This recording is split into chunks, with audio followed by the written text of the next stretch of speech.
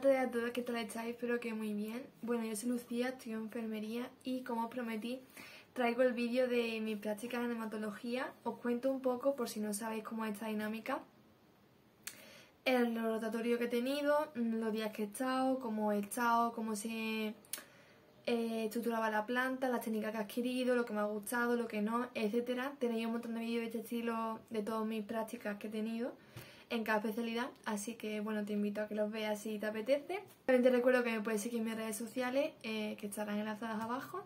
Y mm, bueno, os cuento un poco, ¿vale? He estado 21 días en hematología y trasplante. Son pacientes hematológicos, es decir, eh, son oncológicos, ¿vale? Pero de la médula ósea. Entonces, em, hay linfomas de Hodgkin. No me voy a meter mucho en explicar la diferencia entre cada uno. Pero básicamente son, pues eso, eh, patologías tumorales de la médula ósea. Entonces, eh, ¿por qué se llama trasplante? Porque la, unidad está dividida en dos partes, ¿no? Una que es la planta, donde están los pacientes hematológicos a los que se le pone la quimio, se le hace las revisiones y demás. Eh, obviamente una planta de hospital, es decir, ellos se quedan ahí hospitalizados. Y como están inmunodeprimidos, esa es también una cosa importante, pues cada vez que entra a la habitación, pues obviamente hay que tener mucha asepsia, mucha higiene, eh, mascarilla, que llevamos FP2, guantes y pues básicamente esas precauciones, ¿no?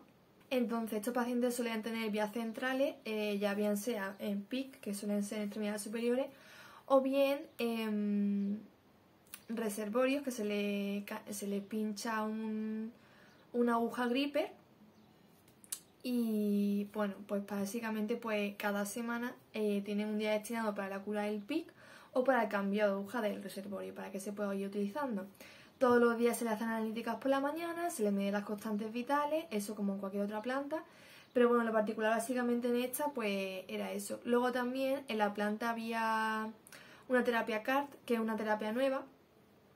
Entonces, como suele tener, bueno, puede tener efectos adversos neurológicos, eh, se le hace una escala durante varios días donde también se le mide la tensión arterial, la saturación eh, de oxígeno y se le hacen varias preguntas para ver si eh, en esos días va respondiendo de la misma manera o si ha habido alguna alteración, ¿no? Bien, eso por ahí.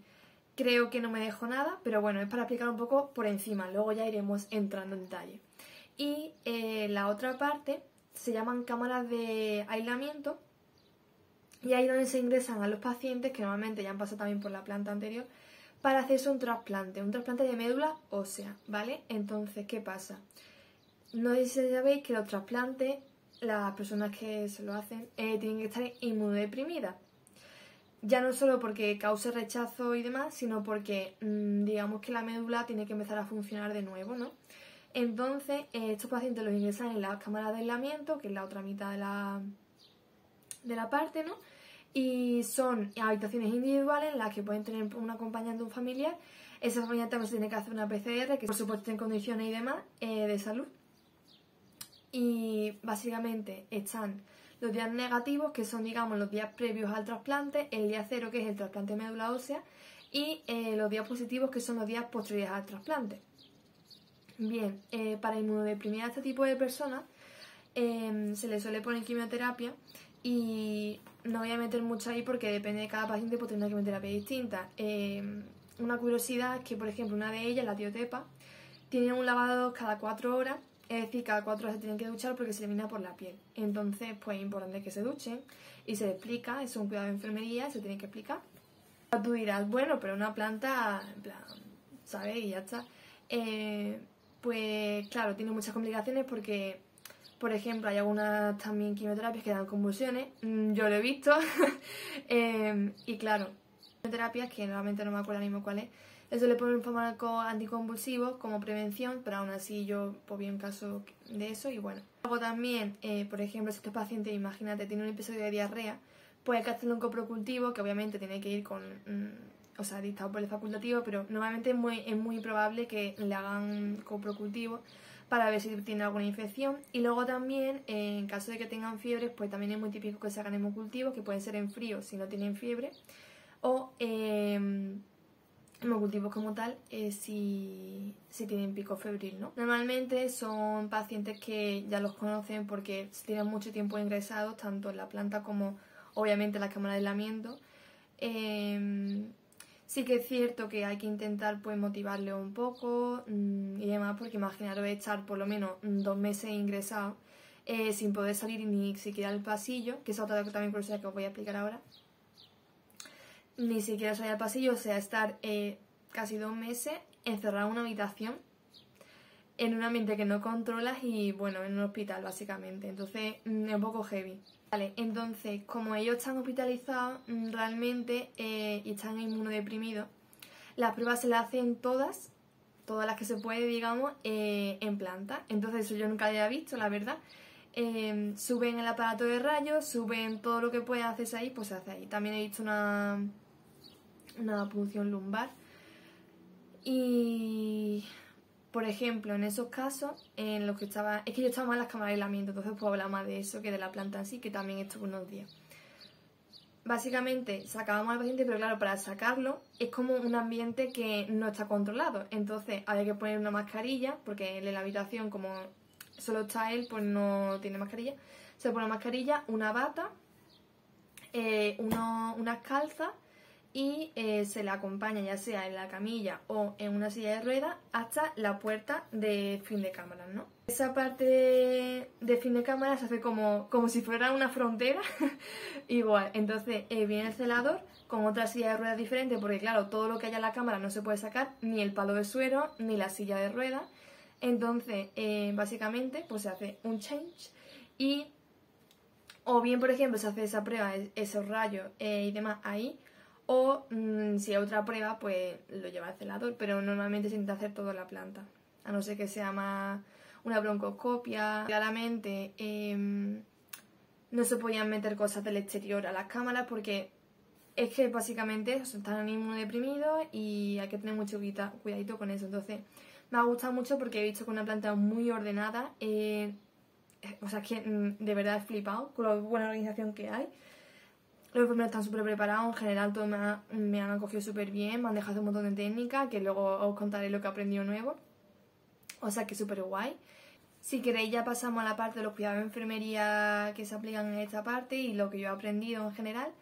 Básicamente, mm, un día de planta, eh, por ejemplo, las cámaras de aislamiento de hematología, pues obviamente depende de cada paciente, porque hay pacientes que ya estaban en su día cero, es decir, eh, el día de trasplante de médula ósea, que si no sabéis cómo se hace, porque yo tampoco lo haya visto nunca, es como una especie de transfusión, es que literalmente es eso. Entonces la enfermería, obviamente va solo, es decir, se cierra todo, se cierra la conexión del suero y mm, lo que tenga, si tiene medicación o algo, porque la médula va sola.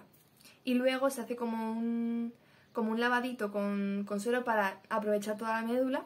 Entonces como que cierran para la parte de la, de la vía, o sea, hacia el paciente, echan suero y vuelven a abrir. Es muy curioso, nunca lo había visto, la verdad. Porque se aprovecha mucho eso. Entonces, aparte de obviamente el trasplante de médula ósea, em, se hace mucha cura de PIC, que me han dejado a mí curarlo. Básicamente le cambia el apósito, le cambia también el fijador.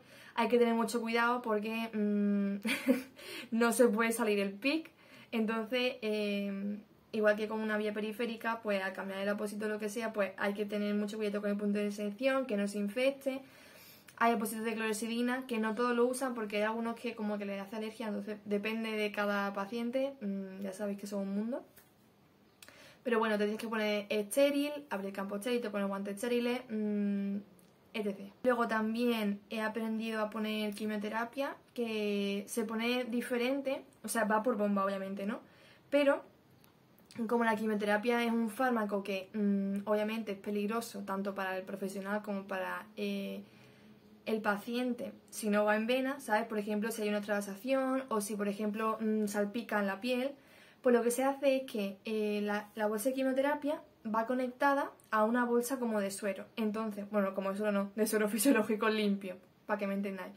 De modo que, eh, la, mm, espero poder tener imágenes, que no le hice foto a nada de allí porque mm, obviamente protección de datos, pero a ver si encuentro alguna por internet y la voy poniendo. Entonces, la bolsa de suero tiene como un sistema especial que es de bomba y además tiene como un arbolito. Entonces, en esas conexiones de ahí se conecta lo que es la quimio. Ya eh, tienes conectado mm, el sistema a la bomba y al paciente y todo está bien. Eh, cierras la conexión del suero, abres la conexión de la quimioterapia y ya lo pones, ¿no? Y cuando termina la quimioterapia, que la bomba pita, todos sabemos que la bomba pitan por todo, pues eh, cierra de la quimio, bueno, básicamente no cierra la de quimio, eh, abre la del suero, entonces ya lo que va a caer por ahí es suero limpio, de modo que si por ejemplo imagínate lo típico que igual te gotea un poco al desconectarlo al paciente, lo que te va a desconectar no es quimio, es suero, ¿sabes? Lo que te va a salpicar, digamos. Te aseguras que no nos vaya a salpicar en la piel, eh, que nos pueda, que pueda afectar a la fertilidad y esas cosas. Pues este tipo de pacientes tienen un mogollón de medicación, tanto oral como intravenosa. Entonces el tema de carga de medicación, pues escúchame, eh, me cogí un montón de, de bagaje con eso. Así que muy bien, antibiótico, antifúngico, mm, de todo, vaya, de todo.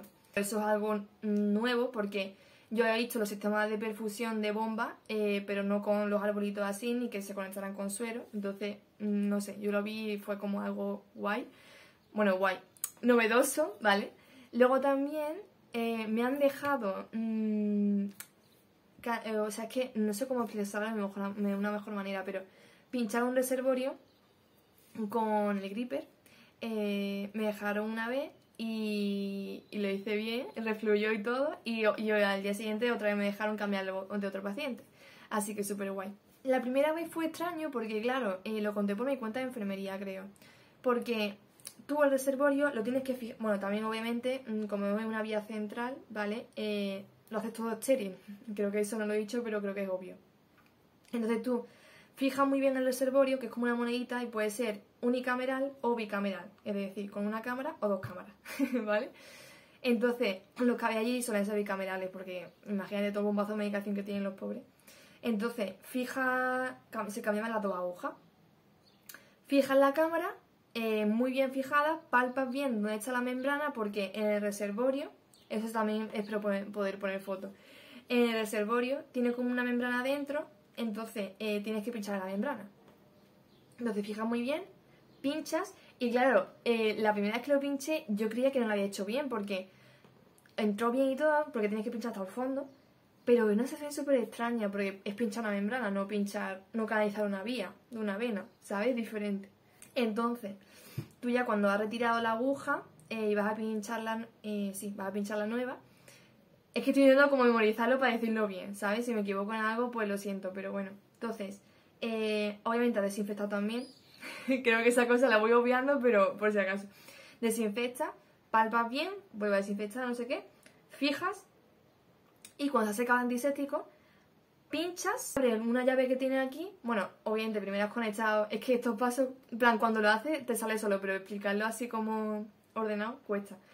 Eh, has conectado la jeringa, entonces eh, aspiras y eh, tiene que refluir sangre para que esté bien en el sitio, ¿vale? Como cuando pone una, un canalizo vía periférica pues, que refluye antes de quitar la guía, pues esto igual.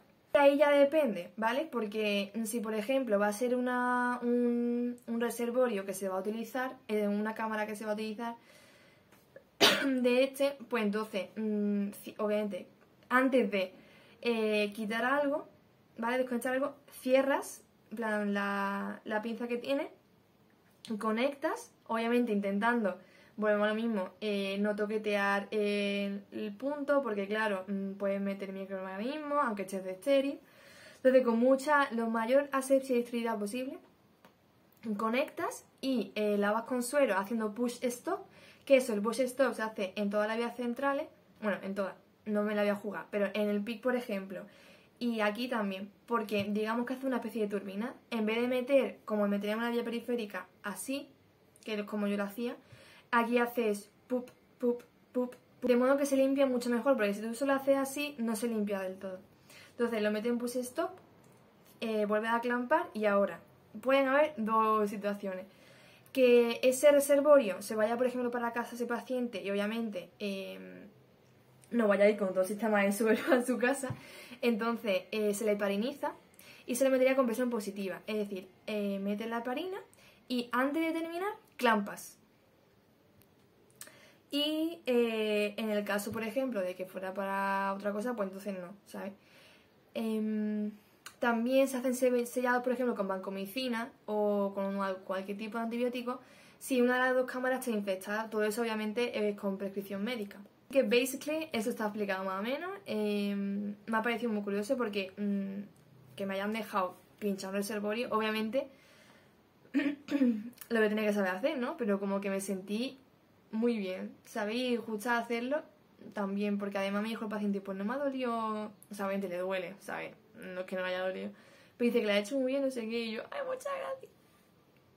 Eh, algunas veces también cuando, por lo que sea, eh, eh, cuesta más que refluya o que sin infunda medicación se le suele poner un poquito de fibrilín para que rompa los posibles coágulos que haya y pues vaya mejor, básicamente. Por tanto, mm, yo estuve turno de mañana, aunque algunos días tuve que hacer un cambio de turno, entonces también estuve turno de tarde, afortunadamente, porque vi las dos cosas. Por la mañana, tú llegas, lo típico, toma de constante, eh, también se ponía bastante furosemida, porque tú imagínate la carga de líquidos que se le pone, pues claro, tienen que eliminarlo porque si no lo eliminan puede hacer de más agudo de pulmón y muchas más complicaciones que obviamente hay que evitar. También en las cámaras de lamento se hacía balance hidroelectrolítico. Es que realmente he aprendido un montón de técnicas de enfermería, de cuidado de enfermería, o sea, maravilloso. Una pregunta que recomiendo bastante. Eh, he hecho balance, entonces mm, tú tienes que contar todo lo que le metes de medicación, de sueroterapia, mm, todo. Y todo lo que el paciente elimina, tanto por heces como por diuresis, etc. Siempre en el programa que se pone para sacar balance, en pérdida fisiológica, si no ha tenido fiebre y demás, o sea, si es, por ejemplo, cuestiones normales, se pone 300 mililitros de pérdida fisiológica. Luego eh, he aprendido por fin los ritmos de infusión de sueroterapia y es que, tío, estas cosas, yo sé que al igual alguna, mm, sobre todo mm, estudiantes de cuarto o incluso yo el año que viene, si veo este vídeo otra vez, diga, hostia, qué payasa, bla. pero es que yo mm, me costaba mucho lo del ritmo de infusión porque no me lo habían explicado bien, nunca, ¿vale? Y la soloterapia en general no me la había explicado bien nunca la carrera. Total. Llego yo primer día, eh, obviamente súper perdida como cualquiera, y me tocó una enfermera que de verdad mm, es una de las primeras que voy a recordar porque fue un amor, un amor. Y en uno de los ratillos libres que tenía eh, me explicó la soroterapia, me hizo hasta, eh, me lo explicó bien con un apunte, me dio truquillos suyos y eh, me hizo mucha ilusión porque cuando volví a estar con ella, como dos semanas después, me preguntaba cosas, yo las sabía responder. Entonces fue como, no sé, ¿sabes? Un sentimiento de orgullo mismo súper guay. Entonces, como que está muy guay porque, y de hecho es muy importante porque tú llegas a una habitación y lo suyo es que compruebes que caiga bien el suero, que el ritmo de infusión esté bien puesto, etcétera, ¿no? Entonces, por ejemplo, yo llegaba y normalmente, por ejemplo, la se tenía siempre soloterapia para mantener la vía, por lo menos. Y también, eh, una cosa también curiosa, es que mm, cargábamos los sueros con CLK, cloruro potásico, que, por si no lo sabéis, eh, hay que tener mucho cuidado con cómo o saco la dosis, porque pueden producir taquiarritmia y mm, básicamente parar el corazón al paciente, lo cual no queremos, ¿no? Entonces, eh, obviamente también eso va por prescripción médica, y básicamente, pues eso, básicamente todas las eh, luces que tengan abiertas tienen que estar con algo pasando porque si no se obstruye y si se obstruye una vía central, mejor que no se obstruya. Sinceramente, me ha gustado mucho y yo creo que me iba a impactar más porque son pacientes oncológicos, ¿sabéis? Y obviamente están súper deteriorados y, y tal. Pero no sé, es una planta como cada vez muy rutinaria y otras veces como que era como muy, muy agitada porque había muchas cosas que hacer. Eh, también hemos visto pues, situaciones en las que ha habido que correr y afortunadamente ha salido bien. Entonces como que he tenido un poco de todo este rotatorio y está muy guay. También, eh, como son pacientes hematológicos, pues obviamente eh, las plaquetas las tienen regular, bueno, las suelen tener regular, y el resto de célula, entonces pues hacían bastante concentrado de matíes, bueno, otras funciones básicamente, de plaqueta, de plasma. Entonces como que lo he visto todo, básicamente. Vale, eh, solo estoy editando el vídeo y me acabo de acordar que eso no lo menciono, pero claro, aparte de todas las... o sea, las patologías que pueden tener estos tipos de pacientes, también hay eh, efectos secundarios de la quimioterapia, por ejemplo la mucositis, que me acuerdo el caso de una paciente que, claro, tenía una mucositis muy complicada porque le llegaba hasta la vía aérea y, eh, empezó a tener una epistasis, un sangrado nasal. ¿Qué pasa? Que esa mujer estaba muy mal de plaquetas, entonces hasta que no vino otra transfusión de las plaquetas, pues claro, mm, no dejaba de sangrar. Era muy agobiante porque claro, hasta que no viniera la transfusión de las plaquetas, esa mujer seguía sangrando. Entonces, eh, me acuerdo que mi enfermera y yo estábamos en plan eh, intentando pues eso, presionarle, luego poniéndole también hemostáticos, que sinceramente no me acuerdo qué fármaco era, pero era como para pues eso, ¿no? Intentar que esa epistasis pues se cortara porque claro, mmm, cada dos por tres pues sangraba y la pobre se agobiaba. Porque además como tenía, digamos, toda la, la por la mucositis todo inflamado en la boca, no podía respirar. Entonces era muy agobiante. También es una planta compleja porque obviamente eh, hay pacientes a los que el trasplante o la quimioterapia no les sienta igual y pueden darse pues reacciones adversas a esa quimioterapia o a, esa, a ese trasplante.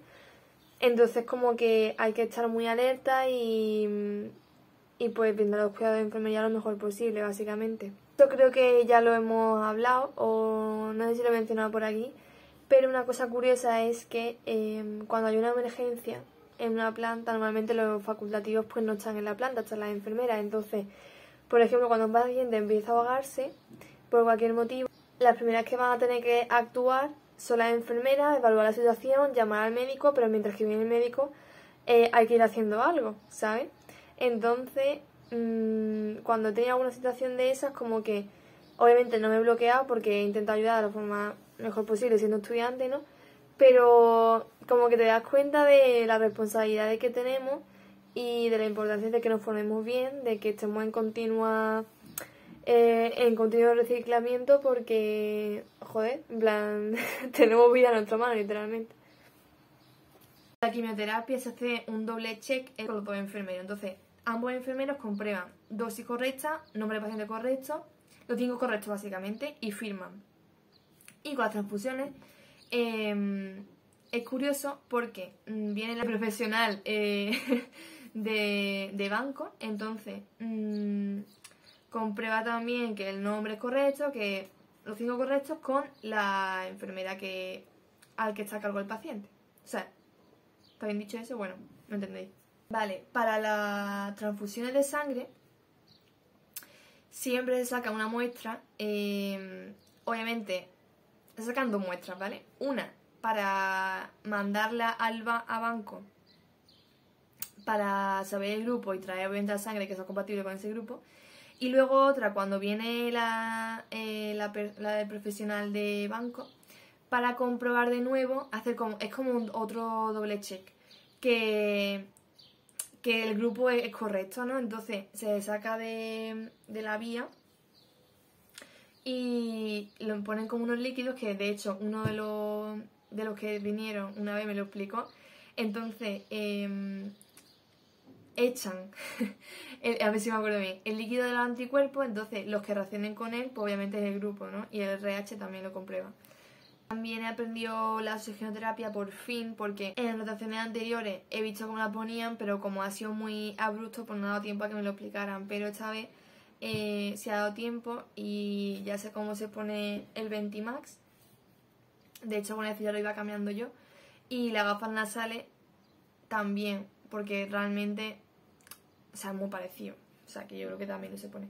Luego lo típico, va aprendiendo truquitos y va viendo cada enfermero mm, la forma de trabajar diferente que tiene y demás. También como son pacientes muy delicaditos, pues los primeros días, verdad que están más de observadora que haciendo cosas, pero luego ya te dejan muchísimo independencia, obviamente, eh, si saben que sabe hacer las cosas. Y ha sido una planta en la que más he aprendido. He aprendido de cuidado de vidas centrales, eh, he aprendido mm, transfusiones, de quimioterapia, bomba de perfusión, oxigenoterapia. También he hecho electrocardiograma yo sola. Un montón de cosas, ¿no? bueno, sola pero con el enfermera al lado, ¿no? ¿Me entendéis? Y una de las cosas que más me ha gustado también, que es una de las características que yo tendré para mi futuro laboral eh, de especialidad, es una, la continuidad asistencial, es decir, que yo pueda ver la evolución de mi paciente gracias a mis cuidados de enfermería y obviamente mm, el equipo multidisciplinar, pero como que ver la evolución del paciente me gusta, conocerlo, sé cómo puede debutar, eh, cómo ¿sabes? No sé, eso es guay. También prefiero tener menos pacientes y que esos pacientes eh, tengan muchísimos procedimientos como pasaba en esta planta a en otras plantas que he estado que tenían un montón de pacientes que igual tenían menos cosas, pero claro, mm, es como que iba súper mmm, desubicada. A mí, por ejemplo, me decían, sí, venga, ven, presentamos a la habitación, no sé cuánto. yo, vale, no conozco ni a ese hombre porque no me ha dado tiempo a entrar a la habitación, porque con mi otra enfermera, entienden, ¿no? O sea, prefiero mm, que sean pacientes con más demandantes, con muchísimo más cuidado de enfermería, con muchísima más medicación, sean pocos, pero los conozca bien, a que sean muchos y mm, no los conozca tanto. En general los pacientes han sido, vamos, mm, encantadores.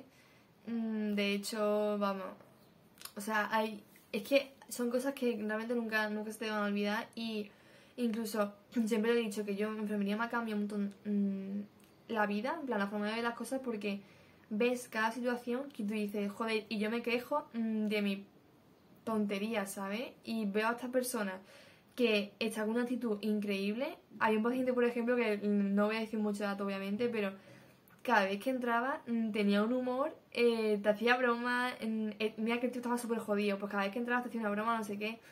Aquí me pone el mojito, ¿no? y ese tipo de cosas que al final, mm, pues están muy guay, la verdad. Y te hacen eh, como saber que este es tu sitio y te hacen motivarte, porque yo algunos días decía, por Dios, otro de madrugón, pero cuando estaba allí se me pasaba súper rápido la mañana y la tarde. Ah, eso no lo he dicho, se me ha olvidado. Eh, algunas veces también eh, bajaban a pacientes a féresis, entonces eh, les ponían un Shaldon, que es un catéter en la femoral, y he quitado un Shaldon y es muy curioso porque, claro, mm, si no sabéis, pues la femoral sangra muchísimo, es una de los vasos sanguíneos más mm, potentes del cuerpo. Entonces, mm, si no se coagula bien, no se cierra bien, pues obviamente podemos desangrar al paciente y pueden haber muchísimas complicaciones que es mejor que no ocurran. Entonces, eh, la enfermera me dijo, ¿quieres quitarlo tú? Obviamente me enseñó primero, estuvo al lado mía y básicamente, primero, eh, obviamente también te tienen que dar la autorización facultativa, tú no vas a quitar un Sheldon por la puta cara, ¿sabes? Y que haya terminado la féresis.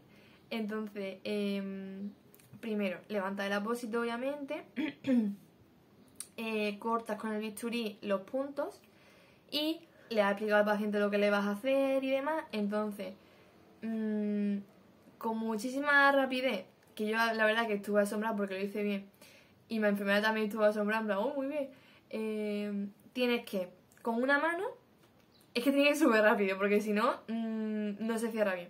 Con una mano, eh, le dices, coja aire, tira, tira, tira, tira, tira, y con la otra, rápido presiona. Y estás ahí, por lo menos, mm, yo estuve presionando con el puño así un ratazo, ¿eh? que, cuando, que además me dijo la enfermera, bueno, yo te dejo aquí seguir presionando y vengo en un rato. Y yo, vale. Y yo diciendo, voy a hacer bíceps, no sé qué. Y yo así apretando y hablando con el paciente sí, pues yo el otro día, y yo, por Dios, que no se me mueva la mano, sigue apretando, sigue apretando, y yo así, sigue apretando, sigue apretando. Cuando ya ha pasado bastante tiempo, no recuerdo exactamente cuánto tiempo era, porque mm, yo estaba así y digo, por Dios, en plan, que no, que, que no se desangre este hombre, estaba así. Y pues se ve súper bien.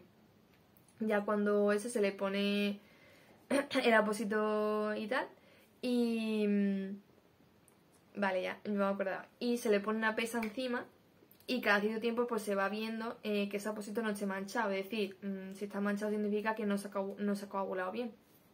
Entonces, junto con la presión que has hecho durante todo ese tiempo y luego la pesa que se le pone, que obviamente el paciente tiene que estar en reposo, pues eso se va cerrando, se va, se va coagulando y ya pues poco a poco pues el paciente ya, mm, si no ha habido ninguna complicación, va un poco moviendo la pierna, cuando me pasa ya varias horas, mmm, la cosa que más me cago, eh, porque mi enfermera me dijo, vale, lo, puedes hacer tú, me lo explico y dice, pero ojo, hay que apretar bien desde el principio, porque si no se hace bien desde el principio, hay que empezar de nuevo sin sangre. Y yo, vale, sin presión, ¿sabes? Pero bueno, mm, todo correcto eh, y súper bien. Así que finalmente eso, mm, fue una planta que le cogí mucho cariño. También tenía ganas de cambiar porque ya, una vez que ya sabes todas las técnicas, al final se vuelve un poco rutinario, pero creo que cuando esa enfermera lo veo diferente, ¿sabes? Porque no soy la estudiante, soy la enfermera. El último día llevamos una palmera a las estudiantes para, bueno, poder pedirnos y tal. Y me hizo mucha ilusión porque incluso algunas TKE eh, me dijeron, ay, queremos apañar, porque yo también os recomiendo que si no estáis haciendo nada, pues que también ayudéis a las TKE si podéis, porque también lo agradecen. Y, y eso, no sé, que me llevo muy buenos recuerdos de esa planta. Obviamente, mm, algún día me ha tocado mm, pero bueno, en general todo ha sido muy bueno y me han dejado hacer de todo, me han enseñado muchísimo. Y incluso aprendido de lo bueno y de lo malo, pero ha sido muchísimo más bueno que malo, vaya. Probablemente me haya dejado muchísimos matices muchísimas cosas, pero tampoco es plan de hacer un vídeo mm, enorme porque creo que no es el motivo. Si os ha gustado el vídeo, pues os recomiendo que rotéis por esa planta porque la verdad que yo he aprendido muchísimo. Creo que hice bien en elegirlo porque eso, ha sido diferente. Yo quería rotar por oncología y mm, y verdad que hematología y trasplante está muy bien porque he visto tanto pacientes oncológicos de hematología como en sí eh, trasplante de médula ósea y, demás. Entonces, pues creo que ha sido muy completo. También, eso no lo he contado creo, pero he estado en, entrado a aislamiento de, de Klebsiella, que es un aislamiento de contacto. Y pues básicamente de tomar la tesis manual, porque obviamente, mmm, si ya de por sí no se puede meter cosas de la habitación, o sea, de fuera de la habitación adentro. Imaginaros un aislamiento. Eh, todo lo que está en la habitación de ahí no se puede, no se puede sacar porque... Mm, entonces tienes que poner la bata, eh, obviamente la mascarilla que ya tendrías que tener puesta, los guantes y demás. Entonces, pues eso, no sé. Es que he tenido de todo, vaya. Realmente ha sido un vídeo muy largo, espero que editándolo no haya, no haya quedado muy tostón. Eh, pero bueno, espero que os haya gustado mucho, que os haya enseñado otra parte de la enfermería eh, para que veáis lo completa que es y lo, todas las especialidades que hay. Eh, sigo sin saber lo que voy a hacer de especialidad porque me gustan muchas cosas y veo que como que no... Todavía no he encontrado algo que haya rotado y haya dicho esto, ¿sabes? Entonces, bueno, poco a poco iremos viendo. Eh, pues listo, te recomiendo que me sigas por mi cuenta de Instagram porque por ahí también subo cositas aparte de por aquí. Y mm, también subo cosas de divulgación, aunque últimamente mm, con la carrera pues no puedo con todo, pero poco a poco quiero ir retomando la divulgación enfermeril y científica además. Y ya está. Muchas gracias por quedado aquí. Suscríbete si no estás suscrito, por fin, y así poco a poco vamos creciendo. Dale like para saber si te ha gustado. Déjame en los comentarios si ha rotado por aquí, si piensas rotar por aquí, lo que quieras. Y nos vemos en el próximo vídeo.